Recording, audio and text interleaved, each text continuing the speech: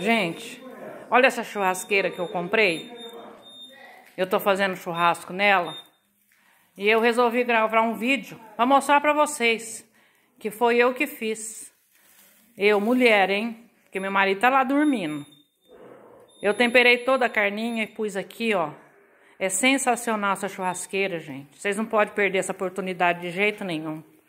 Ela tem, ela tem para 16, acho que é 16 espetinhos que coloca aqui. Ela é muito boa.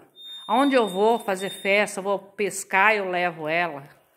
É muito boa, gente. Olha, eu que sou mulher fazendo churrasco. Vê só que coisa mais linda. Ó, o espetinho é assim, ó, é fácil. Você tira ele, você aperta o negocinho aqui, você tira o espetinho. Olha só, gente, que coisa mais linda. O espetinho não tá pronto ainda, tá quase. Quase pronto.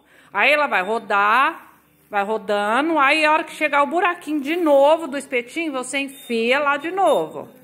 Certo? Você vai enfiando lá, você enfia no mesmo lugarzinho da onde você tirou. A hora que ele der a volta. Ele vai dar a volta, você espera o buraquinho, ó, o buraquinho e enfia lá de novo o espetinho, ó.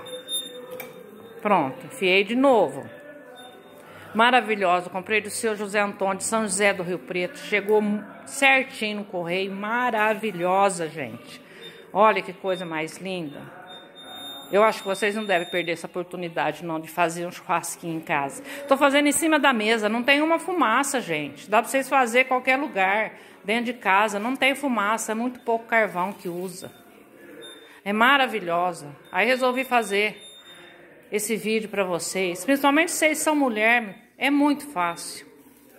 Tá bom? Espero que vocês aproveitem, vocês comprem essa churrasqueira, viu? Não perde não.